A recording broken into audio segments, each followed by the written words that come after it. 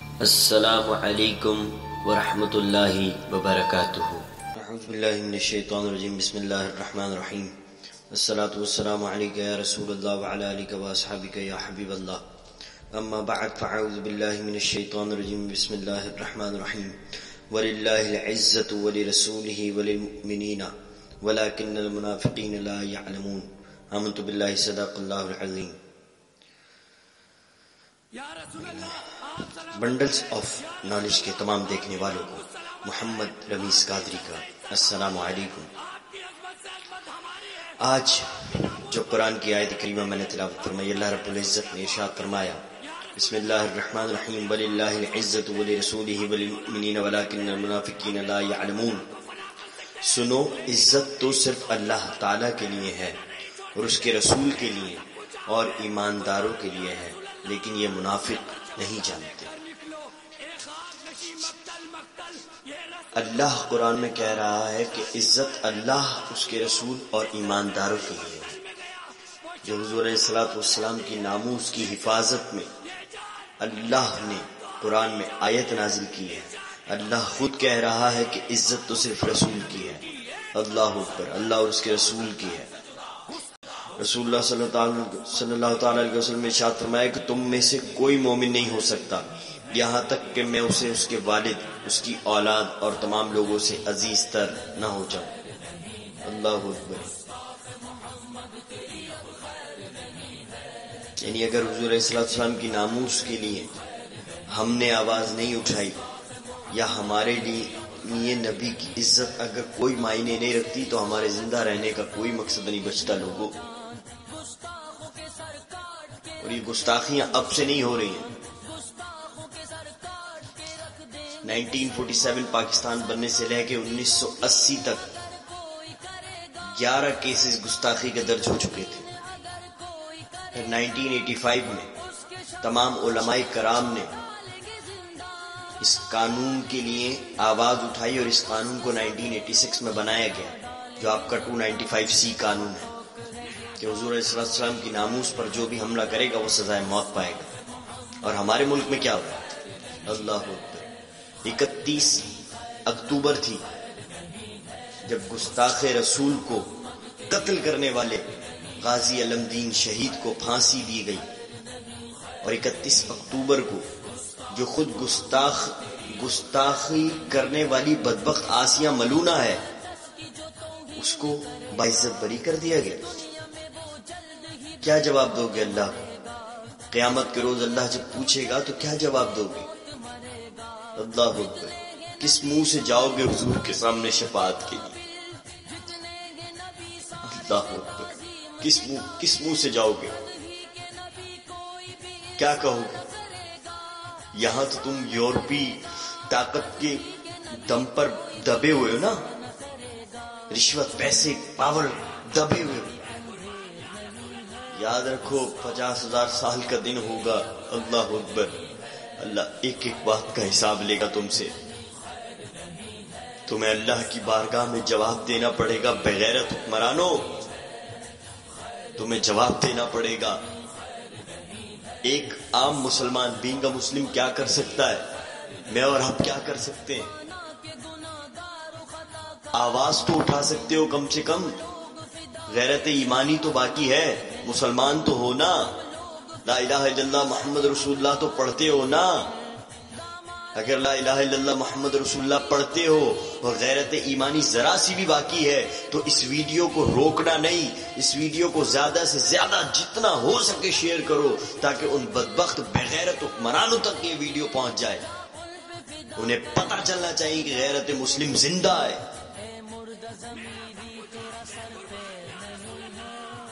گستاخوں کے انجام میں بیان کروں نا تاریخ کے آئینے میں۔ اللہ اکبر۔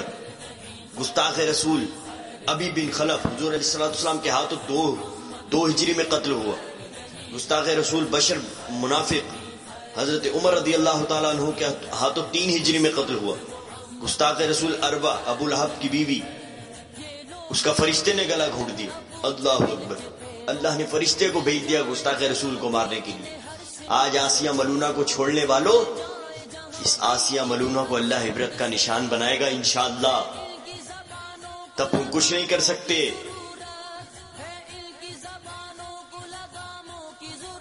ابو جال دو ننے مجاہدوں معاذ اور معوز کے ہاتھوں قتل ہوا۔ گستاخ تھا حضور کا۔ گستاخ رسول امیہ بن خلف حضرت بلال رضی اللہ تعالیٰ عنہ کے ہاتھوں دو ہجری میں قتل ہوا۔ گستاخ رسول نصر بن حارث حضرت علی رضی اللہ تعالیٰ عنہ کے ہاتھوں دو ہجری میں قتل ہوا۔ گستاخ رسول اسما یہودی عورت نابینا صحابی حضرت عمیر بن عدی رضی اللہ تعالیٰ عنہ کے ہاتھوں دو ہجری میں قتل ہوئی۔ گستاخ رسول ابو افق حضرت سالم بن عمر رضی اللہ تعالیٰ عنہ کے ہاتھوں تین ہجری میں قتل ہوا۔ کاب بن اشرف حضرت ابو نائلہ کے ہاتھوں تین ہجری میں قتل ہوا۔ گستاخ رسول ابو رافع حضرت عبداللہ رضی اللہ تعالیٰ عنہ کے ہاتھوں تین ہجری میں قتل ہوا۔ گستاخ رسول ابو ازا جمع حضرت عاصم بن ثابت رضی اللہ تعالیٰ عنہ کے ہاتھوں تین ہجری میں قتل ہوا۔ گستاخ رسول حارث بن طلال حضرت علی رضی اللہ تعالیٰ عنہ کے ہاتھوں آٹھ ہجری میں قتل ہوا۔ گستاخ رسول اقبا بن ابی معید بدبخت حضرت علی رضی اللہ تعالیٰ عنہ کے ہاتھوں دو ہجری میں قتل ہوا۔ گستاخ رسول ابن قتل حضرت ابو برزہ رضی اللہ تعالیٰ عنہ کے ہاتھوں آٹھ ہجری میں قتل ہوا۔ گستاخ رسول حویرس نقید حضرت علی رضی اللہ تعالیٰ عنہ کے ہاتھوں آٹھ ہجری میں قتل ہوا۔ گستاخ رسول صلی اللہ تعالیٰ علیہ وسلم قریبہ گستاخ باندھی تھی۔ فتح مکہ کے موقع پر قتل ہوئی۔ گستاخ شخص نام اس کا تاریخ میں نہیں معلوم۔ خلیفہ ہادی نے قتل کروا دیا۔ ریجی فالٹ عیسائی گورنر سلطان صلاح الدین ایوبی کے ایوبی کے ہاتھوں قتل ہوا بدبخت۔ گستاخ رسول یولو جی جیس پادری، فرزند ابو عبد الرحمن اندلس کے ہاتھوں قتل ہوا۔ گستاخ رسول راجپال غازی علم الدین شہید کے ہاتھوں قتل ہوا۔ گستاخ رسول نتھو رام غازی عبد القیوم شہید کے ہاتھوں قتل ہوا۔ گستاخ رسول ڈاکٹر رام گوپال غازی مرید حسین شہید کے ہاتھوں ایک سو ترانوے عیسوی میں قتل ہوا۔ گستاخ رسول چرن داس میاں محمد شہید کے ہاتھوں انیس سو اڑتیس میں قتل ہوا۔ گستاخ رسول شردا نند غازی قاضی عبد الرشید کے ہاتھوں ایک سو بانوے ہجری میں قتل ہوئی، ہوا۔ گستاخ رسول چنچل سنگھ صوفی عبداللہ شہید کے ہاتھوں انیس سو اڑتیس میں قتل ہوا۔ گستاخ رسول میجر ہردیال سنگھ بابو میراج دین شہید کے ہاتھوں انیس سو بائیس میں قتل ہوا۔ عبد الحق قادیانی حاجی محمد مانک کے ہاتھوں قتل ہوا۔ بوشن عرب بھوشو۔ بابا عبد المنان کے ہاتھوں انیس سو اڑتیس میں قتل ہوا۔ چودھری کہیم چند منظور حسین شہید کے ہاتھوں انیس سو اکیس میں قتل ہوا۔ گستاخ رسول نینو مہاراج عبد الخالق قریشی کے ہاتھوں قتل ہوا۔ لیکھرام آریا سماجی، کسی نامعلوم مسلمان کے ہاتھوں قتل ہوا۔ ویر بھان بھی کسی نامعلوم مسلمان کے ہاتھوں انیس سو پینتیس میں قتل ہوا۔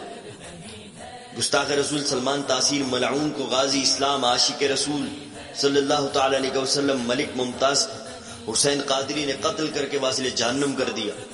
ایک قادیانی نے نبوت کا دعویٰ کیا جسے حال ہی میں غازی تنویر قادری نے قتل کیا۔ یہ تاریخ چودہ سو سال سے دہرائی جا رہی ہے اور قیامت تک جاری رہے گی انشاءاللہ۔ گستاخ نبی کی خیر نہیں ہے۔ اللہ اکبر۔ آج آسیہ ملونہ کو رہا کرنے والوں، آج اس بدبخت کو پناہ دینے والے یورپیوں، تم بھی نست و نابود ہوگے اور آسیہ ملونہ کو تو کوئی نہیں بچا سکتا ہے۔ اللہ انشاء اللہ تعالی ابو لہب کی بیوی کی طرح کسی فرشتے کو بھیج کر اس کا گلا دبا دے گا۔ ان اللہ اللہ کل شین قدیر، اللہ ہر شے پر قادر ہے۔ اور یہ جو حکمران آج کہتے پھر رہے نا کہ ایک چھوٹا سا طبقہ ہے جو احتجاج کر رہا ہے، یاد رکھو ہر مسلمان جو لا الہ الا اللہ محمد رسول اللہ پڑھتا ہے اس کی غیرت ایمانی زندہ ہے، مر جائے گا، حضور کی حرمت کا، حضور کی ناموز کا، حضور کی عزت کا سودا نہیں کرے گا۔ تمہاری تم بدبختوں کی طرح اپنا ایمان نہیں بیچ دے گا۔ تمہیں تو کلمہ ٹھیک سے پڑھنا نہیں آتا۔ کلمے کا مطلب کیا سمجھو گے؟ تمہاری تو اپنی کوئی معاشرے میں عزت نہیں ہے۔ تم حضور کی عزت کی کیا حفاظت کرو گے، بدبختو؟ پر یاد رکھنا قیامت کے دن تمہیں اللہ کی بارگاہ میں جواب دینا ہوگا۔ تمہیں بتانا ہوگا اللہ کو ایک ایک بات۔ جب وہ پوچھے گا، اللہ اکبر پتا چلے گا تمہیں۔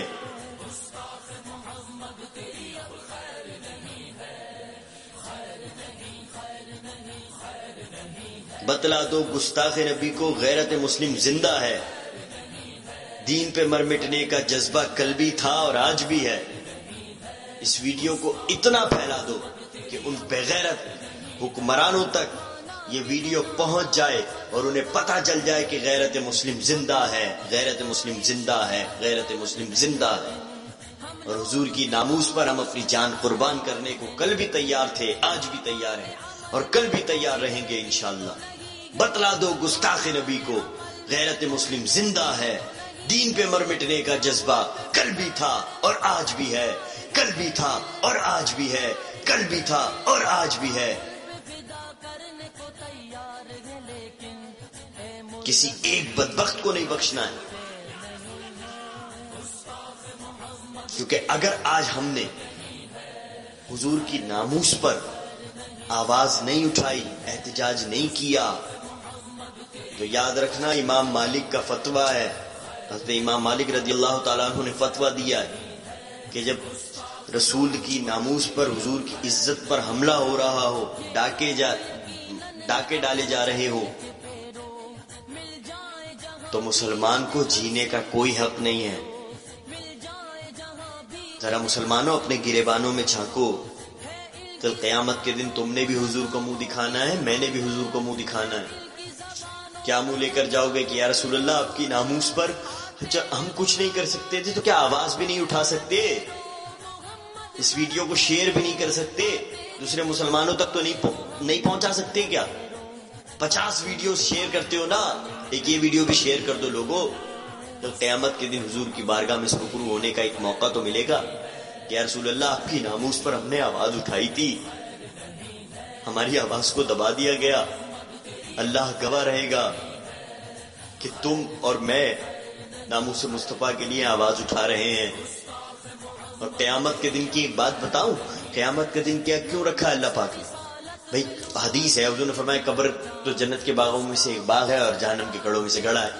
تو جب جہنم کے گڑوں میں سے گڑا قبر ہے، جنت کے باغوں میں سے باغ قبر ہے، تو پھر قیامت کے دن رکھنے کی ضرورت کیا تھی؟ اللہ پاک نہ رکھتا قیامت کا دن۔ جب قبر میں یہ فیصلہ ہو گیا ہے، جہنم کا گڑا بن جائے گی یا جنت کا باغ بن جائے گی، تو قیامت کا دن کیوں رکھ دیا؟ اللہ اکبر۔ پچاس ہزار سال کا دن اتنا بڑا کیوں رکھ دیا؟ جب فرشتوں نے قبر میں حساب کتاب کر کے سزا، جزا جو کرنی ہے وہ کر دیں گے۔ تو قیامت کے دن اللہ نے اس لیے رکھ دیا کہ صرف ایک ہی شیر پر بات ختم کر دوں گا۔ کہ فقط اتنا ہے مقصد ان عقاد بزم محشر کا۔ فقط اتنا ہے مقصد ان عقاد بزم محشر کا کہ ان کی شان محبوبی دکھائی جانے والی ہے، کہ ان کی شان محبوبی دکھائی جانے والی ہے تو قیامت کے دن پتا چلے گا کہ حضور کی شان کتنی ہے، سرکار کی عزت و ناموس کتنی ہے۔ اور جن لوگوں نے سرکار کی عزت و ناموس پہ پہرا دیا، جنہوں نے حضور کی عزت و ناموس کے لیے اپنی جان دی، غازی علم الدین شہید، غازی ممتاز قادری۔ اور جس جس نے حضور کی ناموس کے لیے شہادت حاصل کی، اللہ اکبر، ان کا بقام قیامت کے دن دیکھنے والا ہوگا لوگوں آپ اور ہم اس ویڈیو کو زیادہ سے زیادہ شیئر کر کے قیامت کے دن اپنے آپ کو ان لوگوں کی فہرست میں شامل تو کر سکتے ہیں نا کہ یا رسول اللہ، ہم نے آپ کی ناموس کے لیے آواز اٹھائی تھی۔ اللہ اکبر۔ اللہ پاک آپ کو اور ہمیں اس ویڈیو کو زیادہ سے زیادہ شیئر کرنے کی توفیق عطا فرمائے۔ آمین سما آمین۔ اور اللہ پاک ہماری اس ادنا سی کوشش کو اپنی بارگاہ میں قبول فرمائے۔ اور قیامت کے دن ہماری اس ادنا سی کوشش کو ہمارے لیے ذریعہ نجات بنائے۔ آمین سما آمین۔ اپنا اور اپنے اپنوں کا بہت خیال رکھیے گا اور ہمیں اپنی دعاؤں میں یاد رکھیے گا، آپ کا اور ہمارا۔ اللہ حافظ۔